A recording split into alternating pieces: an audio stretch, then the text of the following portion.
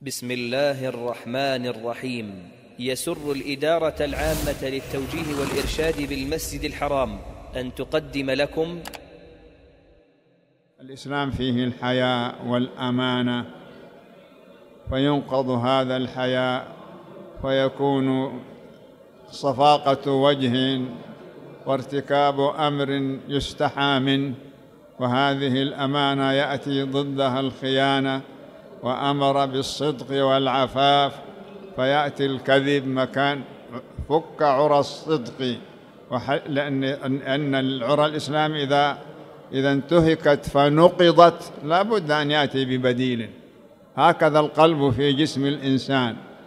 القلب يملأ بما يملأ به المرء العاقل باختصاصها بحب الله وتعظيم محارمه واجتناب المكاره.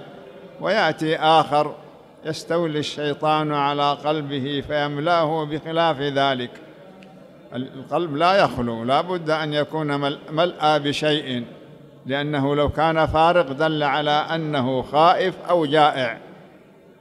الخوف إذا بلغ أشده في قلب المرء ينسى كل شيء. والجوع إذا طغى على الإنسان حتى يعرف الهلاك ينسى كل شيء فيصبح قلبه فارغ لا المحبوبة ولا العشيقة ولا الذرية ولا الأهل.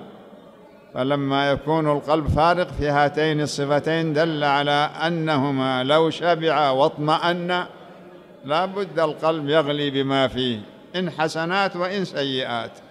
تنقض هذه العرى دل على أن كل عروة فيها مما يقرب إلى الله عز وجل إلا ويحصل فيها انحلال ويحل محلها ما يغضب الله ورسوله. الإنسان إذا تتبع هذا رأى ما يرى.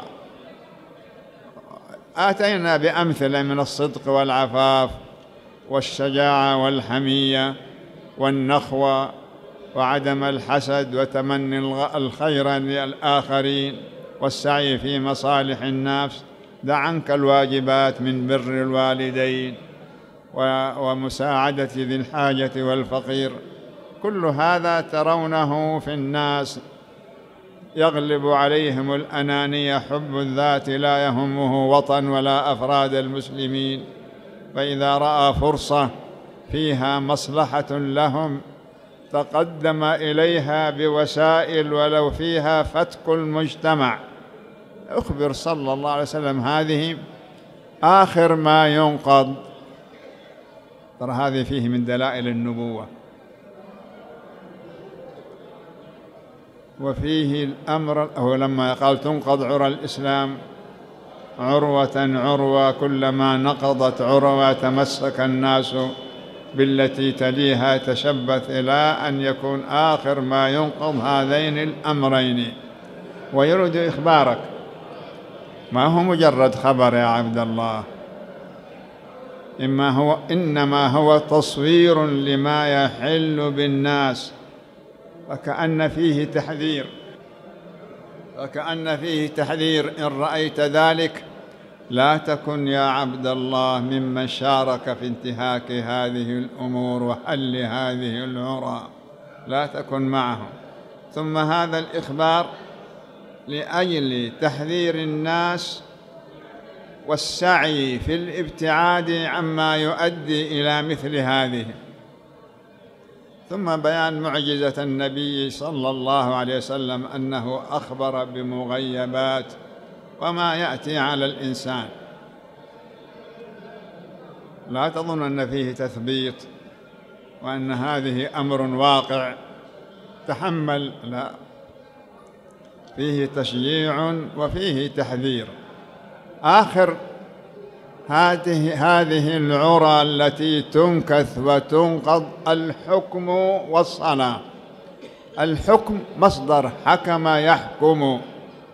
ومعنى حكم يحكم أي قضى ونفذ ما جاء ما جاء الله فيه بأمر أو نهي.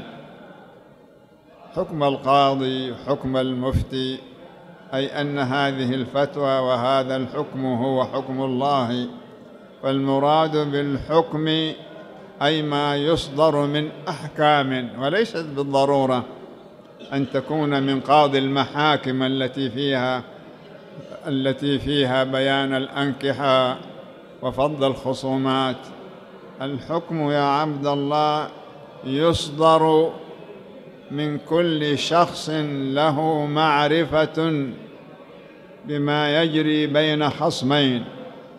فإذا قضية تتعلق بأمر هندسي مما يتعلق في الاعتداء في البيوت أو ما يتعلق بالاقتصاد. العالم فيه يطلب منه الإنصاف في هذه المسألة. حتى الطبيب أن يقول اصبر الصبر مناط قياس.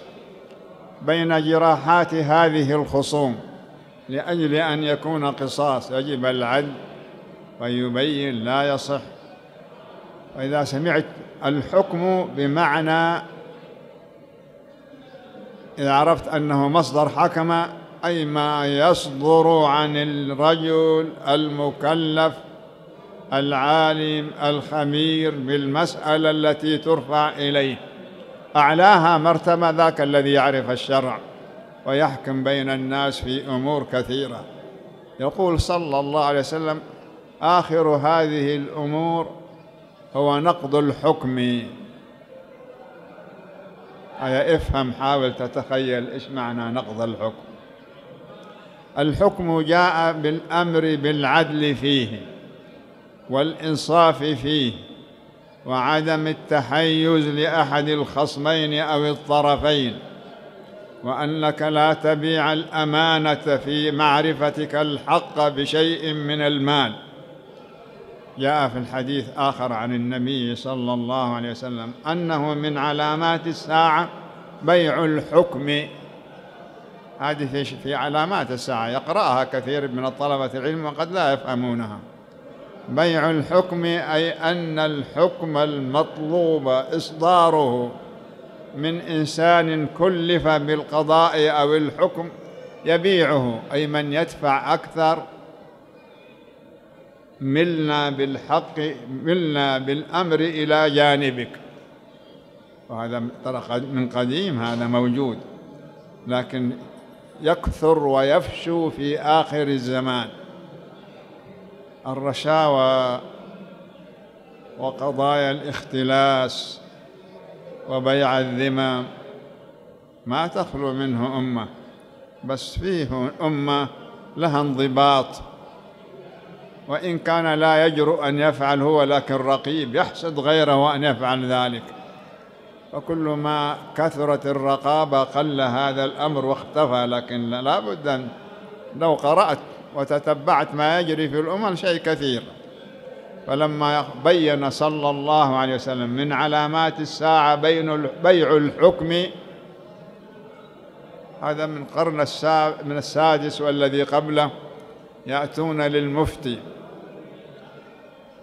يسألونه عن قضية. فيحب أن يرضيهم ويسرهم لأنهم أناس ذو شارات يعني ملابسهم ملابس تدل على سعة حال وثراء.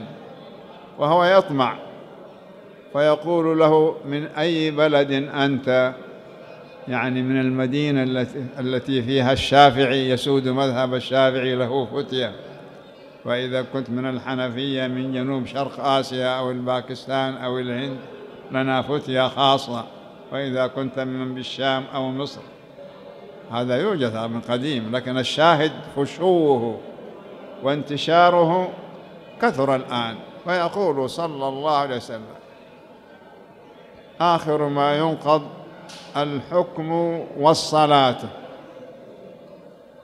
الصلاة كثير من قديم. كم من يصلي كما يقول أبو هريرة رضي الله عنه ولا دين له. كم من يصلي إنما هو حسب العادة وغيرها. ويقول صلى الله عليه وسلم هذان الأمران. ترى فيه تحذير.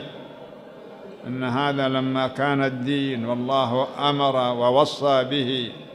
وألزم الناس بالاستقامة أي أنتم يا عباد الله احذروا أن ينالكم شيئا من أفعال هؤلاء. حافظوا على هذين الأمرين. حكم الله وإقامة الصلاة وأدائها بالوجه الذي يطلب منكم. والله أعلم. اقرأ ما بعده. وعن شقيق وعن المست وعن وآخرهن الصلاه هكذا نرى. يقام الصبح لا تجد في المسجد إلا صفا أو صفين. ويأتي الجمعة ويمتلئ بالناس لأنه لو لم يقم وعرف أهل الدار التي فيها بيوت كثيرة أو شقق كثيرة ينكر بعضهم. ويتهم بعضهم فيلجأ حياء أو يرى أن هذه هي الفريضة والأخرى لا بأس فيها. والآن نشاهد تقام الصلاة في المساجد ويأتي من لم يصلي يتحدى الناس ويسعى والمسجد خلفه أو عن يمينه وشماله. ما كان يفعل الناس إلى عهد قريب. تأتي تأتي أعصار وأزمنة يختلف الإيمان زيادة ونقصانا فاخرهن الصلاة وهذا الذي هو نشاهده. اقرأ ما بعده وعن المستظل بن, بن حسين قال سمعت عمر بن الخطاب يقول قد, علم قد علمت ورب الكعبة متى يهلك العرب مرارا يقول لهن حين يسوس أمور أمورهم. من لم يصحب الرسول صلى الرسول صلى الله عليه وسلم ولم يعالج أمر الجاهلية. يقول عمر قد علمت. رضي الله عنه. الحديث معناه إيه؟ معناته أنا أعلم لأن العرب فيهم السيادة والخلافة مدة طويلة.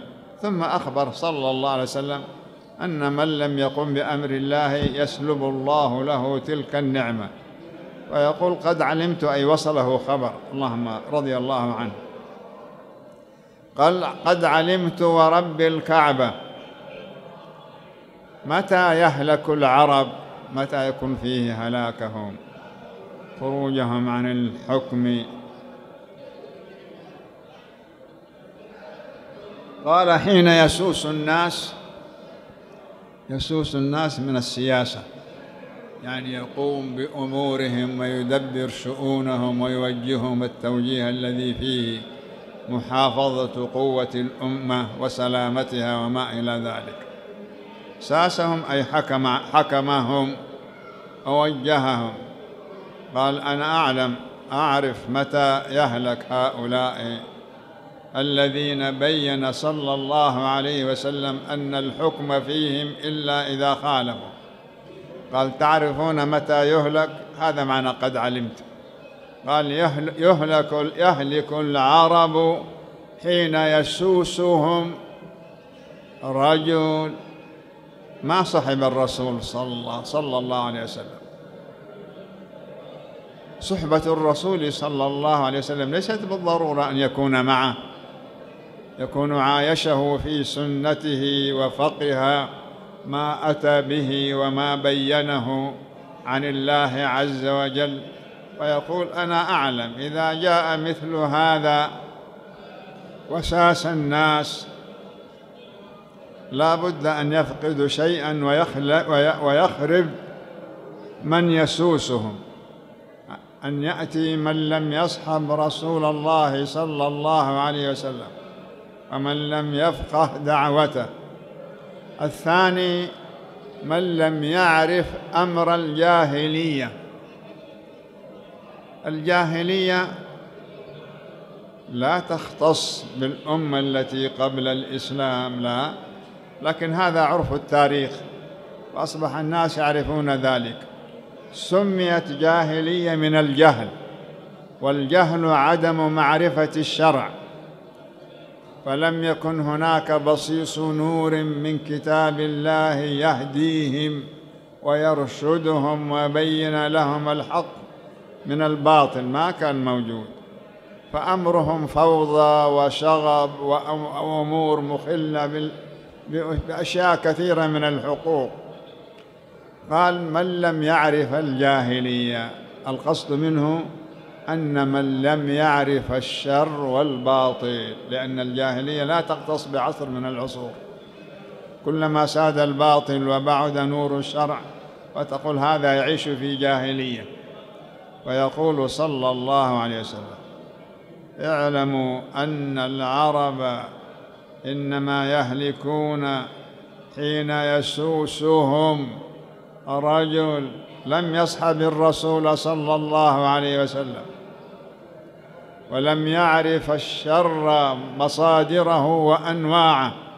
قال إذا كان كذلك فإنه إذا ساد هذا الرجل وحكم الناس ينتشر ينتشر الفساد فيهلك هذا النفر من الذين أخبر عنهم صلى الله عليه وسلم أن تكون القيادة تحت أيديهم.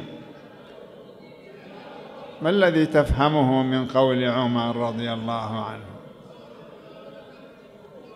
أن من تولى أمر الناس وهو جاهل بأمر الشريعة ثم إنه لا يستشير ولم يكونوا من يستشيرهم ويطلب منهم الرأي ويستنير بما عندهم من الفقه والعلم.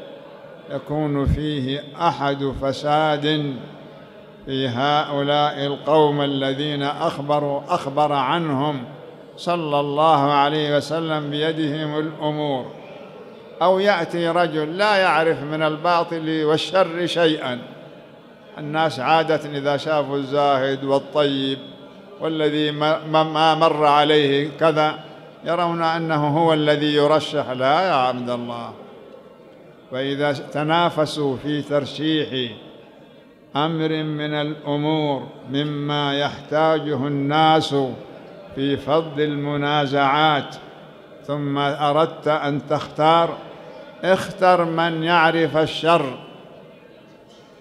اللص وقاطع الطريق والذي عاش الأخباث ثم تاب الله عليه ورجع إلى الله عرف عنه الصدق والأمانة وخبره الناس. هذا أعلم بما يجري بين الناس من أمور ويدرك برأيه أن هذا الذي يعمله العامل فيه فساد وأن هذا الذي يقصده فلان فيه خير. ترى هذه فراسة وإضاءة ويدرك بملامح خفية ومعرفة صادقة من بعيد. أن تصرف هذه الأمة في هذا المسلك يؤدي إلى وبال وأن هؤلاء الذين جنحوا إلى هذا فيه خير. لأن هذا خبر عرف الخير والشر. أما ذاك المغفل الطيب لا يدرك فيقول أن من تولى أمر الناس وما مر عليه ما عرف الباطل والخير. والشر وطرق الفساد. ثم رجع, رجع إلى الله واستقام. هذا ولم يرجع يعني إنما نشأ استقامة باستقامة طيبة وصلاح طيب. طيبه يعود إلى نفسه لكن يا عبد الله لا يصلح أن يسوس دائرة أو مكتب أو كذا أو أمة من الناس. هذا خبر. إيش معنى خبر؟ لما تقول يا عبد الله سيل أتى على القرية فسقى حروثها وزروعها واستبشر الناس وملأوا أواعيهم وسقت أغنامهم. ثم رأيت هذا بعينك. هذا خبر. ما انتهى ما في شيء كذلك ما لا يزيد. اليوم وجدنا برد شديد وغدا حصل كذا. سيحصل كذا. هذه أخبار. هذه الأخبار المجردة ما في لا لا يكون في قول الله ورسوله لأن هذا يعني المجرد من باب التسلية ومن باب القصص. أنا أعطيكم مثال. يقول صلى الله عليه وسلم لينزلن ابن مريم حكما قسطا يقتل الخنزير ولا يقبل الجزية. يعني ما في إلا الأيمان أو القتل. لما تأخذ بهذا تقول هذا هكذا يخبرنا صلى الله عليه وسلم. إن استقصيت الفائدة منه تقول هذه من علامات الساعة. من دلائل المعجزة عن النبي صلى الله عليه وسلم أنه رسول الله لأنه أخبر بمغيبات. أقصى ما تستطيع أن تستنبط ذلك لكن الأمر خلاف ذلك. اعتقد يا عبد الله أنه سيكون كذا وكذا كما أخبر صلى الله عليه وسلم. لا مجرد أنك تحدث به. عمر لما يقول هذا القول لتنقضن عرى الإسلام عروة عروة كلما نقضت عروة تمسك الناس بالتي يليها يعني إلى أن يفقدوا جميع عرى الإسلام. آخر ما ينقض منها الحكم والصلاة. ثم يقول رضي الله عنه هذا الحديث عن النبي صلى الله عليه وسلم. ثم يقول عمر قد علمت ورب الكعبة. ما الذي يهلك منه العرب؟ قال العرب تهلك وتبعد عما خولها الله له من القيادة والرياسة. حين يتولى من يسوس الناس من لم يصحب رسول الله صلى الله عليه وسلم. أي ما تفقه في دينه لأن الذي عنده الفقه والسنة هذا صاحب رسول الله صلى الله عليه وسلم. ولذا الأحاديث أن الله يعني أن الله ينصره ومن معه لا تظن المعية أنهم كانوا مشاركين فيه. بل كذلك أن الله ينصر من كان مع النبي صلى الله عليه وسلم متبعا لسنته. قال الذي ما صاحب الرسول ولا صاحب السنة ولا عمل بها وتولى أمر الناس فإن فيه أول الفساد. ثم إن هذا إذا لم يعلم الشر ولم يعلم طرقه ولذا الفقهاء رضي الله عنهم إذا أرادوا أن يولوا مناصب التي فيها ما يجري بين الناس من معرفة الحقوق ومعرفة الدسائس والمكائد والحيل. يبحثون عمن كان عاش معهم. ولذا يقول بعض أهل العلم أعرف الناس بالآفات من ابتلي بسرد من الآفات. الآفة يعني النازلة التي يكرهها المرء في بدنه أو غيره. اللي يعرف هالمصائب هو من خاضها وعاشها. ما يعرف ألم الأذن وشدته إلا من عاناه والطبيب إذا بدأ يفحص عن المرض وعرفه ثم جاء آخر في نفس المرض حتى أتقن هذا. ليس كالطبيب الآخر الذي يعطي بعض المسكنات والأدوية هذا أخبر. فإذا جاء نوع من المرض الذي كذا ما تذهب به إلى الثاني.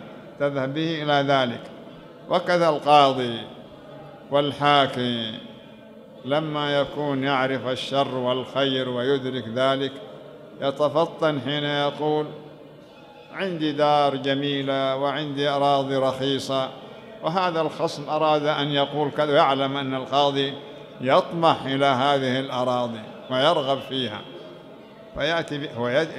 الذي يفهم ذلك يدرك ما قصد هذا والذي ما يدري إنما على نيته. تعلمون بعد ذلك. اقرأ الذي يليه.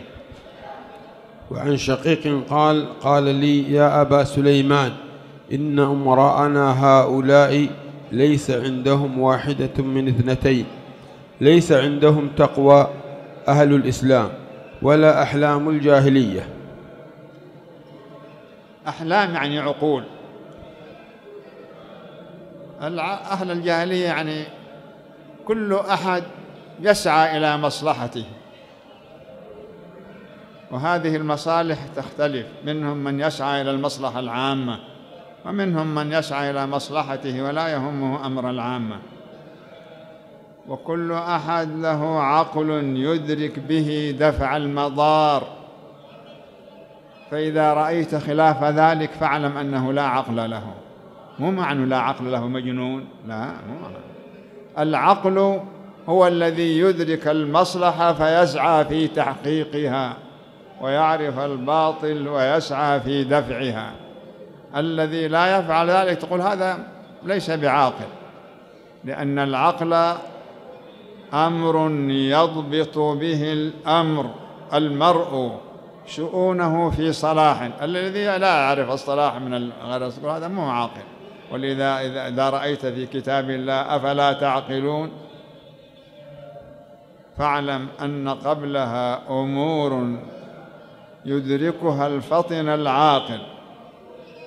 فلما كانوا لا يعرفون المصلحة فيدفعونها ولا يعرف فيجتلبونها ولا يدركون المضرة فيدفعونها. يقول هذا فلان غير عاقل. فقال أخبر هذا. قال هذا ما عندهم تقوى ولا عندهم أحلام أهل الجاهلية. اقرأ ما بعده. وحدثنا أبو عبد الرحمن السلمي سمعت علي بن المؤمل سمعت الكريمي سمعت محمد بن عبد الله العتبي يقول أتى أعرابي واليا؟ فقال والي له يعني ليس بالضرورة الحاكم قد يكون والي على على هذه القبيلة قد يكون وال على أنفار طلب منه الوالي الأول رعايتهم. جاء هذا الوالي اللي هو في البادية على بعض الرعاة. فتكلم معه. قال أتى أعرابي واليا فقال له الوالي لتقولن الحق أو لأوجعن لأوجعنك. لتقولن اللام لام القسم. إما تخبرني بالحقيقة أو لأسببن لك ألما. أو الوجع بمعناته ألم المرء يكرهه ويتمنى دفعه وألا يحصل به. دل على أن الوالي ارتاب في هذا. وحب أن يتبين الحق. ترى يا عبد الله ما أحب التصوير لا تصور فقال أنا إما قل الحق وإلا لأوجعنك. أي أني أسلط عليك أمرا حتى يصل العذاب إليك. لأجل ماذا؟ مو للتشفي لأجل إخراج الحق الذي أنت دفنته وسترته وكتمته. اسمعوا قول الأعرابي لأن الأعرابي ساكن البادية. وفي الغالب الأعراب في ذاك الزمان مو في هذا الزمان. عندهم حلم وعندهم عفة وصدق القول والشجاعة. ترى الخيانة قليلة فيهم والالتواءات هذه ما عندهم قليلة فيها لأنهم قلة ويعرف بعضهم بعضا. هذه الحيل لا تجدي مو معناتهم ما هم أذكياء ولا يعرفون طرق يعرفون هذه لكن ما ما يودونها. أصحاب فطرة إيش معنى الفطرة يا عبد الله؟ المولود يولد على الفطرة. يعني لو تركته وما تدخلت في تشويه عقله وقلبه ومعرفته لخرج يحب الله ورسوله ويكره الكذب ويبتعد عن الخيانة ولا يحب كذا. لأنها أدرك بعقله أن هذه أمور مخلة. قد لا يعرف تفاصيل الإيمان وغيرها إلا من الرسالة. كل مولود هكذا. فأبواه يهودانه أو ينصرانه أو يمجسانه إما يخلون مجوس مجوسي أو كافر أو نصراني أو أو ملحد أو ما إلى ذلك. وإلا هو لو تركته هكذا دون تدخل من الغير لخرج صاحب فطرة. ولذا من قال الفطرة الإسلام هو بمعنى هذا. مو معناته أنه مؤمن الإيمان لا يأتي إلا عن طريق الرسالة. الأعراب هكذا العرب أول هكذا. لما جاء الإسلام وانتشر وطلب منهم الهجرة كانت الهجرة مفروضة قبل إذا في الأعراب لابد أن يهاجر إلى المدينة. لأجل الغزو والجهاد والجماعات. ولذا لو بقوا هناك ما تم إسلامهم حتى يهاجروا.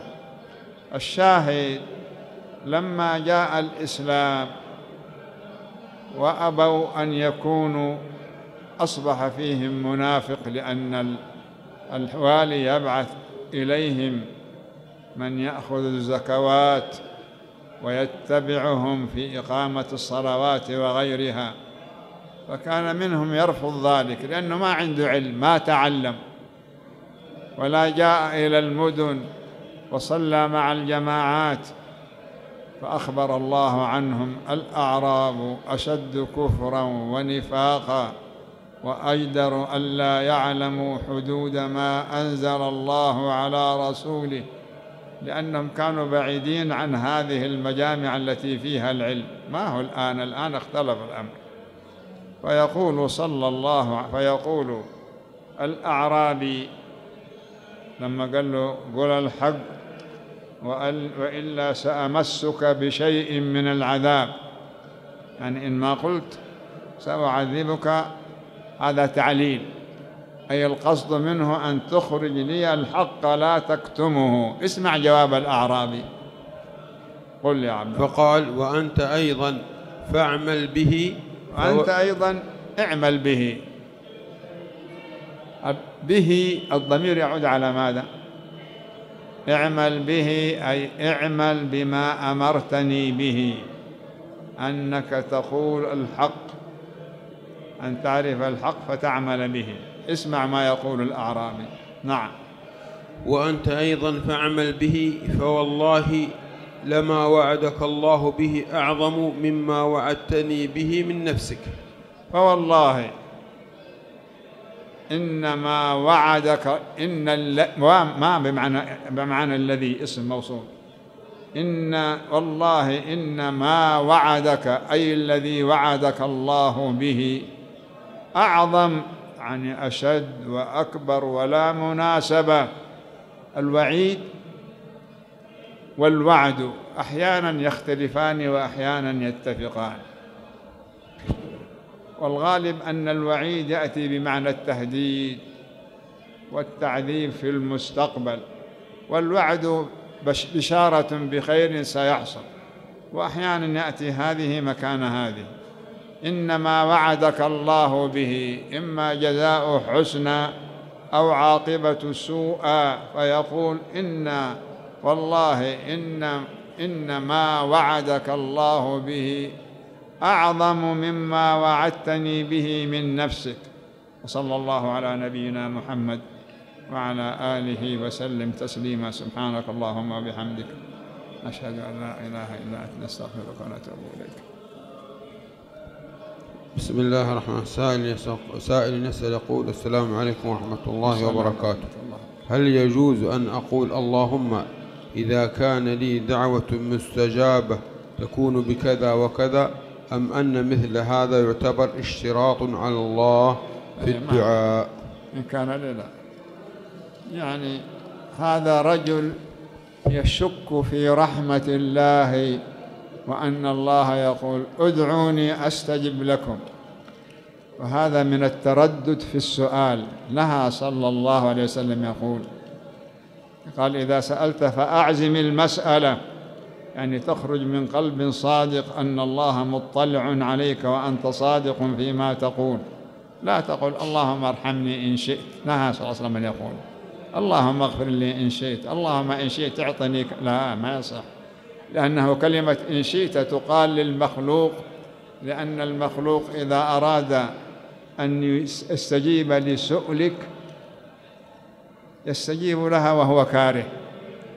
إما أنك أحرجته أو أن إعطاء المرء ثقيل على نفسه أو أن الحياء يمنعه وإلا ما أعطاك. وأمور كثيرة تصرف هذا من استجابة لكن الله عز وجل لا مكره له. لا تقل إن شئت اعزم يا عبد الله. قال اللهم إن كان لي دعوة مستجاب ما ينبغي هذا. أعزم المسألة واسأل الله عز وجل. نعم قل يا عبد الله. رجل يقول دخلت إلى الحرم قبل عشر دقائق من أذان المغرب فهل أصلي ركعتين تحية المسجد أم أجلس؟ أراد أن يقول السائل أنا أصلح له سؤاله لأجل أن تعم الفائدة. السائل يقول إذا دخلت وقت نهي. لأنه صلى الله عليه وسلم نهى عن الصلاة بعد الصبح حتى تطلع الشمس قيد رمح ونهى عن الصلاة في الزوال إذا كانت السماء في كبد السماء. إذا كانت الشمس في كبد السماء. تختلف صيفا وشتاء. أي أنها بمعنى وصلت نقطة أن ظل الشيء ينكمش. فلا يكون أقصر من ذلك. آخر حد لأن في الشتاء في مكة بالذات وما حولها من المدن القريبة. إذا كانت الشمس عمودية لا يكون للشاخص ظل. إذا وضع شاخص عود أو عمود أو إنسان ما له ظل. الشمس كانت عمودية. فإذا زالت بمعنى مالت من مكان الشروق إلى الغروب يبدأ الظل. ينعكس بدل ما كان عن ذات اليمين أصبح عن ذات الشمال. لكن في الشتاء ما يكون الشمس لا تكون عمودية. لكن معنى لكن الذي يكون من تمام معنى ما هو في الصيف أن يصل الظل إلى نقطة لا, يك لا يمكن أن يكون أقرب من تلك النقطة. ثم بعد ذلك يزداد. هذا يسمى الزوال. من عرف الزوال شتاء وصيفا لا ينبغي له أن يأتي بالصلاة إنما يكف عنها. وبعد العصر حتى تغرب الشمس. عرفنا هذه الأوقات ومنها من صلى ركعتي الفجر ما يتسنن بعدها. يقول السائل لو دخل في أحد هذه الأوقات المنهية عنها ودخل المسجد. كيف التوفيق بين حديثين؟ إذا دخل أحدكم المسجد فلا يجلس حتى يصلي ركعتين. وبين حديث النهي لا تصلوا في هذه الأوقات. كيف تجمع بينهم؟ ترجح النهي أو ترجح الأمر؟ هذا الترجيح قد يأتي من قواعد لا ترتبط بالأحاديث. هذه القواعد يقول النهي مقدم على الفس... درء المفسدة مقدم على جبر المصلحة أو أو أو, أو ابتعاد النهي أولى من الأمر بالم... بال... بال... بال... أولى من العمل بالأمر. هكذا عندهم لكن الصحيح لا تجد في حديث رسول الله صلى الله عليه وسلم ولا في آيات قرآنه بين آيتين أو حديثين متعارضين تمام الاعتراض. ما ما في ما يكون هذا تناقض.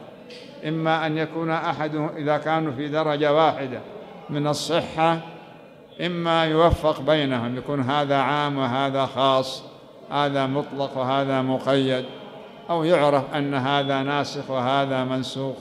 إذا تعذر عند بعض أهل العلم غيرهم يعرف. فهذا قد تعارض عنده ما درى.